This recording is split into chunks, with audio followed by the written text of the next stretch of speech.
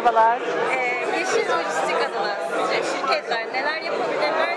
E, Yeşil lojistik günümüzde çok önemli bir kavram. Birkaç sebebi var. Bir tanesi lojistik sektörünün e, karbon global olarak karbon e, salınımına e, maalesef olumsuz katkısı yüzde sekizlerde. E, bu çok önemli bir pay. Bütün e, karbon salınım kaynaklarını düşünürseniz.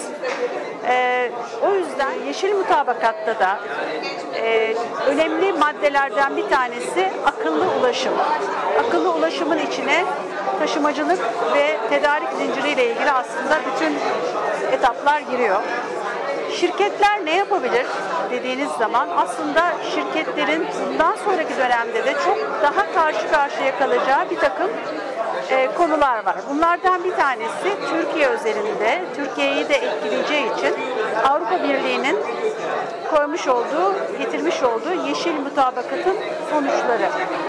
Geçen yıl Temmuz ayında e, Ticaret Bakanlığı bu konuda bir eylem planı hazırladı ve şu anda birçok bakanlık ortak bir program kapsamında bu eylem planı ile ilgili e, konuları tek tek ele alıyorlar. Bunlardan dediğim gibi bir tanesi de akıllı ulaşım.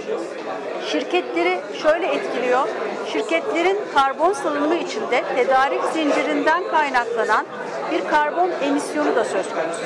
Dolayısıyla sadece kendi faaliyetlerinden saldıkları karbon değil, aynı zamanda paydaşları ve kullandıkları araçlarla ilgili salınan karbon da bu hesaplamaların içine giriyor.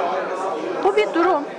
Peki dönüşümde bu durumla nasıl başa çıkılabilir dediğimizde ise ölçümlemeye başlamamız gerekiyor. Yani karbon ayak izinin ölçümlenmeye başlaması aslında ilk adımlardan bir tanesi.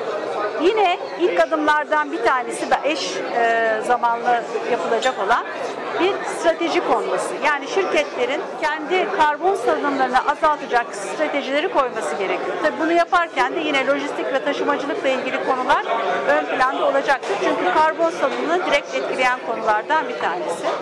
De karbon ayak izini azaltacak önlemleri almasını tavsiye ediyoruz. Çok teşekkür ederiz.